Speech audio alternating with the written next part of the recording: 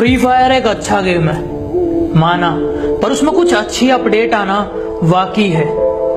सुनो, पबजी सिर्फ़ नाम ही काफ़ी है।